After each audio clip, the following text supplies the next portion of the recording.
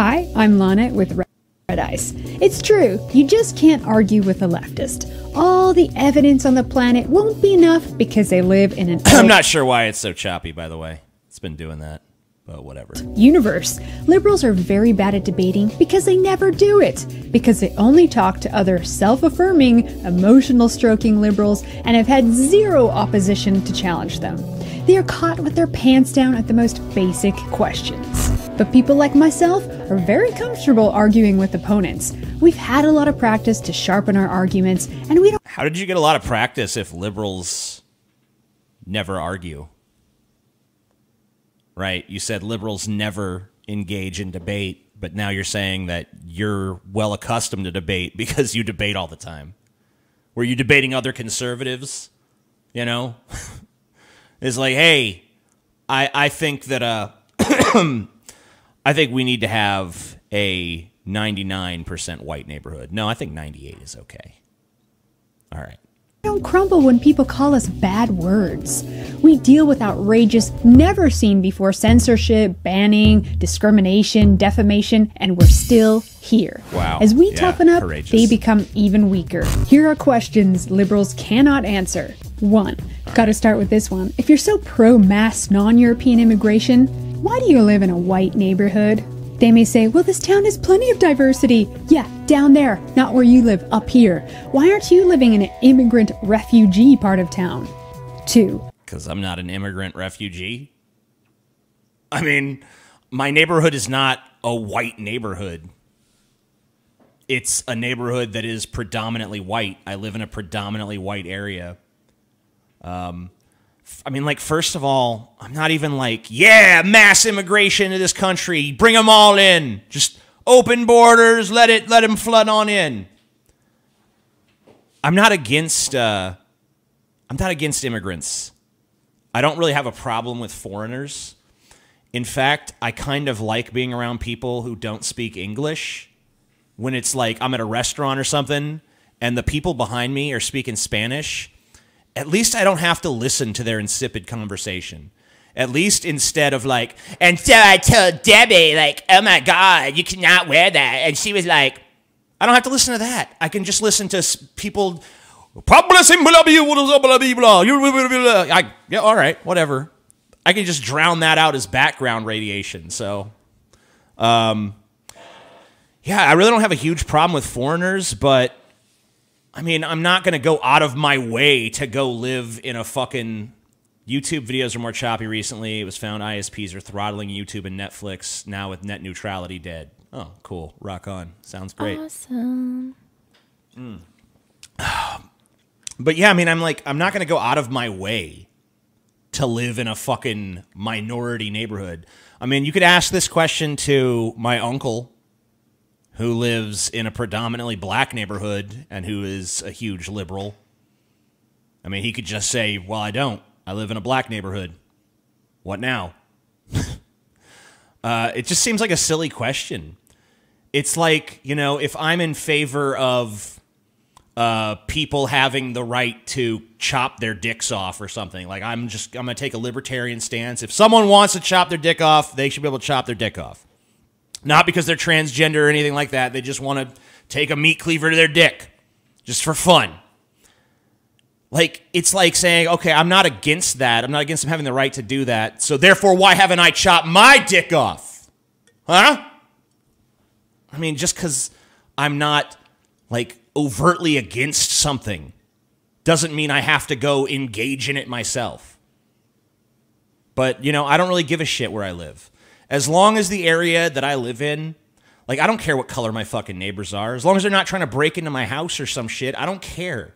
Our last neighborhood, most of our It was Asian. neighbors. were We were living in a Asian. fucking Asian neighborhood. Yeah. I didn't give a shit. I wasn't like, oh no, these Asians. No, they were fine. Too many fucking slanty eyeballs around. I don't feel comfortable. No, I don't care. I don't care. I don't care if my neighbors are black, Asian, b- uh, fucking uh, Middle Eastern, whatever.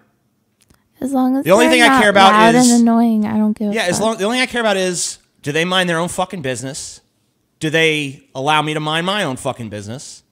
Yeah. If that's the case, I don't give a shit. What percentage of America can be white? 60%, 40, 15, care. 2%? Oh At what point who is it acceptable? cares? 3. At what point is it acceptable? It's acceptable at any point. I don't give a shit. It always has been. I don't care what. America's nine, 90% white. All right. America's 30% white. All right. America's 50% white. All right. White people are extinct. All right. All other people are extinct. All right. I don't care. I don't really give a shit. I don't give a shit about what color people are. You know, as long as we live in a society that respects freedom and individuality and we're not fucking, you know, murdering each other in the streets and shit, I don't care. I don't care what fucking color anybody is.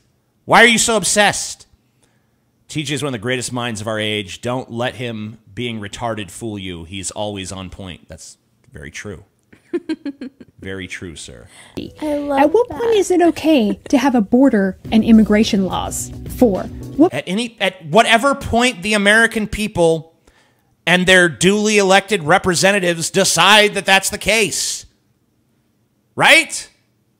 If people want a border, which we have by the way, they can have a fucking border. If the people of this country you uh, if the majority of people in this country say, "You know what? We don't like the border. Let them in.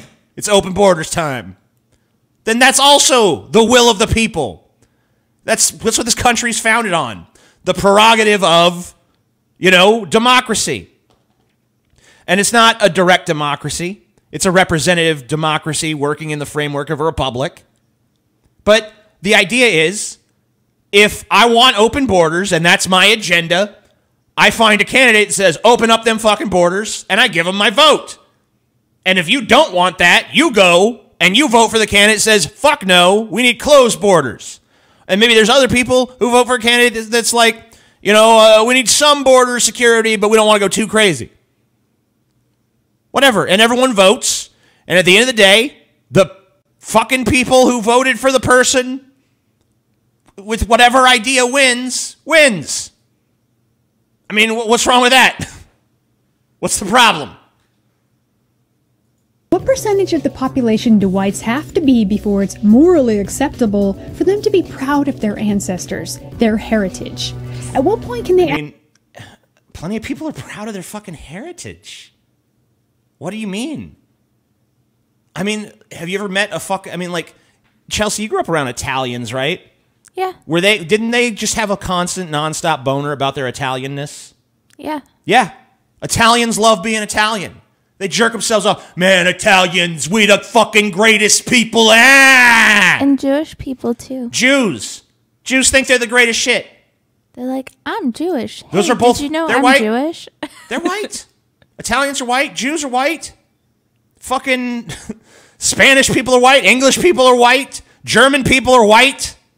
There's tons of fucking people who are proud of their fucking heritage that are white. They just don't say, I'm proud to be white. They say, I'm proud to be Italian or I'm proud to be, you know, Swedish or whatever the fuck. I mean, from my perspective, having pride in like your pedigree is just stupid. Have pride in your own fucking accomplishments. You being Italian is not a fucking achievement. Just like you being black is not a fucking achievement. You being gay, that's not even a racial thing, but you being gay is not an achievement. I like sucking dick. That's not an achievement. I sucked a hundred dicks last night. That's a fucking achievement. Be proud of what you have done, not genetic fucking happenstance. You had nothing to do with that. That's not something you fucking chose or did. It's not something that re- required skill or guile or intelligence or anything else. Advocate for their people with unions, orgs, and lobbyists, just like every other group. 5. When is it okay for a white guy to say, I am a proud, straight, white male? Uh, It's, fine. Yeah. Who's stopping him? Who's fucking stopping him? A white guy who's a straight white dude could go out and be, I'm proud to be a straight white male. What's going to happen to him? Someone might disagree. It's about the worst that's going to happen. Someone might say, well, fuck you. I don't like straight white males. You don't think that happened to someone who's like, I'm proud to be a trans black woman? You're ridiculous. You're absurd. Yeah, you, everyone has the right to be proud. Everyone has the right to look at other people being proud and say, well, you're fucking stupid and I don't like you. You shouldn't be proud. You suck. Everyone has the right to have their pride. Everyone has their fucking right to heckle. Seems fair to me. When is it okay for them to be loud and proud? 6. What is so wrong when European women want to have white children who look like them? Instead of, ooh, your mixed race baby is so cute, how about, ooh, your little blonde, blue eyed baby is so adorable and unique? Oh my, yeah, no one, no one has ever complimented a woman on a blonde haired, blue eyed baby before. Society would collapse. Surely society would collapse. TJ, What alternate fucking reality is this bitch from? you and I were both blonde hair. Yeah, I was a blonde haired, blue eyed kid. Guess what? Motherfuckers Ask fawned over me. mothers. Ask our mothers. Yeah, ask my mom. Ask me. I remember it. Everybody I remember the thought- pinched cheeks. Oh Yep. my god, he's so terrible. Luckily, I grew up into an ugly fuck, and no one cares anymore. Right. But when I was a little kid, yeah, people would fucking come up to my mom all the time. Oh my god, your child is so beautiful. My mom put me in those little toddler beauty contests. Oh, that's gross. Jesus Christ. My mom didn't go that far. Yeah, that's good. Unique. 7. For legal immigration alone, 1 million plus a year come to America. That's like importing a large city every Sorry, what's the question? How many non European people need to be in the country before it's okay to say that's enough? Once again, you can say that's enough. Plenty of people say that's enough. You, the president of the United States, is a guy who says that's enough. People voted for him because he said that's enough. There's plenty of mainstream politicians who say that's enough. You act like this immigration issue has been pushed into the fucking underground. It hasn't. This is a very active issue being actively discussed within the framework of our fucking democracy right now. The fucking head honcho of the country is on your side. How long are you going to act like you're being persecuted? Uh, do you find it scary that conservatives in the U.S. are moving farther and farther to the right? We're approaching on ethno state territory. This is what they've always believed. This is what they've always believed. This is not new. This is not latest, the late breaking development. This is just conservatives realizing it's time to be honest. It's time to say, fuck the social mores and conventions that have held us back up to this point. We're just going to be honest and upfront. And if Trump, you can credit Trump with anything, I think you can credit him with that. Every year. How many non European people need to be in the country before it's okay to say that's enough? It is okay. It's already okay. Eight. You already are saying it. You liberals No claim to be you. environmentalists, and yet you are not aware of the horrible environmental consequences of mass migration, not to mention the problem of limited resources and an overburdened physical infrastructure. I mean, that's a planet wide problem. Those people are still going to do their polluting elsewhere on the planet. this is, it's all a big interconnected system. It's not like America has its own environment that's separate from the rest of the fucking planet. I agree with you, but it's not mass migration that's the problem there. It's overpopulation. There are too many fucking humans. Way too many. We need less. I'm a proud sexist, racist, misogynist Bernie bro. Calling me Winky, Winkle is anti Semitic, though. Take my money, you whore. Cool. All right. Good stuff. Yeah, it used to be common knowledge among you. But we have so much and we waste so much, so the solution is to import the entire third world so they too can have and waste much and enjoy a first world lifestyle?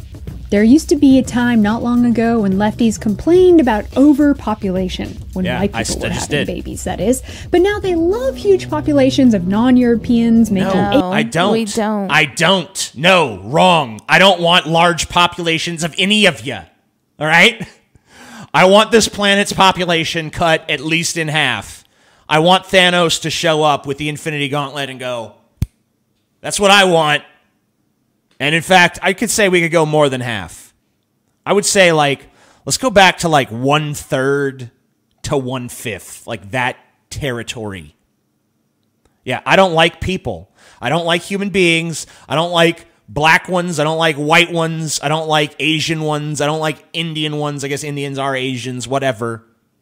I don't care what skin tone these motherfucking human beings are. I don't want them. There's too goddamn many of them. All right? I'm not to say I don't I'm not hoping for the extinction of the human race or anything. I just want us to have a population where we can actually live in something resembling equilibrium with our fucking environment. That's what I want. Eight kids each. So, Libs, you A-OK with Muhammad up in Minnesota and his eight wives and 25 kids living off of welfare paid for by mostly He's not allowed to have eight wives in America. There's nowhere in this country where polygamy is legal. White people? Give them all your money then. Stay out. I don't want anyone having 20 fucking kids. I don't want white people doing it. I don't want black people doing it. I don't want any of them doing it. Like, okay, get down with my misanthropy, bitch. Okay? out of mine. 9. Speaking of refugees, did you know there are people getting rich off the importing fake refugee business? 10. According to international law, Oh, refugee I thought we were gonna. I thought you were gonna explain that. Nope. No. Just did you know that? I guess I didn't. I didn't. No. You told you you learned me. These are supposed to go to the country nearest to them. So why isn't Israel and rich Gulf countries taking in any refugees? Why must they be flown at our expense way to Sweden, Australia, and North America? 11. About I don't know. I would assume because those countries closer to them don't want them. Right? This woman and conservatives in general like to act like they're the smart ones and they don't get offended like leftists. The truth says otherwise. I don't even know what the fucking truth is anymore. About those refugees, do you even know how many are actually fleeing from catastrophic conditions and not just their own poverty? Like th- this much. Uh, no. That's not true. What is that? Like, What that's like much. unit of measurement is that? That's much. that much? Out of what? Out of this much? and like, what are you talking about? No, uh, tons of people. Yeah, a lot of them are fleeing poverty, but a lot of times it's poverty created by war, and usually they're wars created by who was it again? Us? Maybe we might have had something to do with the wars that displaced them. I don't know. Not always, but usually, yeah. I mean, come on, all those Mexicans seeking asylum. My white sister lives in Mexico. Plenty of My white sister lives in Mexico. Oh yeah, all of Mexico looks like that. That's my, that's typical Mexico town. Yep. Uh, all right. space and options there. White liberals will say, well, it's okay if people are fleeing poverty. I mean, usually Mexicans are not presented as refugees. Sometimes they're called economic refugees, but they're not formally refugees. They're just immigrants. We're not talking. I thought we are talking about like Somalians and shit here when we're talking about refugees. Didn't Bernie Sanders debate Ted Cruz and rip apart his ideology just after the presidential election? And Bill Maher has conservatives on his show all the time. What the hell is this woman talking about? She's, I mean, she's obviously full of shit. I mean, she's totally crazy. And by the way, I was thinking that this was going to maybe like venture into a few different ideological realms, but instead it's pretty fucking razor focused on immigration. poverty, we have to give them a chance at a better life to become surgeons, inventors, and rocket scientists in European nations. Says who? Are you saying they can't do it without white people? That they need us to succeed? Well, what's wrong with their people? That's supremacist. Oh, yeah. You really turned that around on us. I don't think, I mean, like, I've never heard a single person ever say, we need to let Juan Menendez over here from Mexico because we think he stands a real solid chance of being a rocket scientist. You know? Usually he's over here to pick fruit or something. I think we all know that. I don't think anyone's holding out hope that he's going to be the next neurosurgeon. If he is, good for him and good for us. But I don't think anyone's holding him to that fucking standard, all right? I think we're holding him to the standard of he's going to come pick fruit. Can't he do that in his own country? Yeah, but not for the same amount of money. Not for the same amount of money. Because what's chicken shit money over here picking fruit is fucking awesome money over there for picking fruit. Sorry, this is what that's how it goes. By the way, enjoy your uh, cheap produce. 12. You want to help people? Why don't you go help them in their country? But you all never care to help European nations when they're in need. Why? What? What? when uh, when did you see me helping any nation? I don't even help my own. I mean, fuck you. I don't. I mean, like, yeah. Uh, by the way, I have actually helped other nations. I did a charity. Yeah. I did a fundraiser for uh, wells in Africa. And Nice. I did um a Nice fundraiser after the big attacks there. I did a fundraiser for women in third world countries, like Saudi Arabia. So I have actually done that. But I guess I mean I guess you mean you want me to like physically go there and help them, which I'm not going to do that. No. No. Why is that? Or are you saying they're never in need? And why is that? 13. To all those Good news, everybody. I've just been told by someone in the chat that an asteroid is about to hit the Earth. I'm going to continue doing this video until that happens, but I just want to let you know it's finally over. Fuck. filthy rich celebrities making anti white trash films, why aren't you taking in any refugees into your house surrounded by a wall and an oh upscale, gated community? 14. Who made you the I mean, like, Because If you- that's my home. if you want to ask that to J.K. Rowling, go ahead, but for most people, that doesn't apply. That doesn't apply to me. I don't have fucking room in here for a bunch of refugees. And once again, I don't care about refugees to the extent where I'm going to fucking be like, yeah, I'm going to take one in. Like, there's different levels of passion about ideas. Just because I don't fucking openly despise refugees doesn't mean I want to fucking have one as my pet. Okay? the morality police, judging on your self righteous high horse, pretending to be God, Sorry, saying what what is that? morally right and wrong. I will answer that one for you. No one. You have Oh, zero moral authority. Remember, boys and girls, there is nothing wrong with Europeans loving and preferring European people and stopping the wave of mass immigration and fake refugees into their country. No other people would put up with this. And if your parents never. I mean, lots of people have. Uh, all of these arguments can basically be dissolved down to if you like ice cream so much, why don't you marry it? all right, yeah. I ever told you, it is okay, more than okay. It is wonderful to be white every moment of every day. And if that's all you got going for you, like how empty is your fucking existence? it's wonderful God to damn. be white. God damn, it feels so good to be white. Wake up every morning and I thank Jesus that I'm white. It's all right. what? like, let me tell you, like, you know how much time I spend each day thinking about my whiteness? Like, death much. Like, that, that's much. Talking about my whiteness, you guys. and I'm whiter than you, bitch. I out white you. Probably genetically too. I'm purer. Don't hear it otherwise. Don't tell the Führer. Is that it? Are we done? Yes. Oh, that was awful. Wow, that was wretchedly bad, dude. Thank white Jesus. Oh my god, dude. Wow. That was that was something else. It's wait, no, there's more. What is all this? What is it what does it go on to do?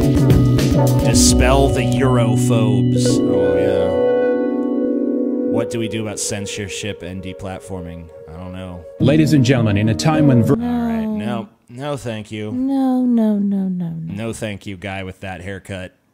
I'm good. Thanks.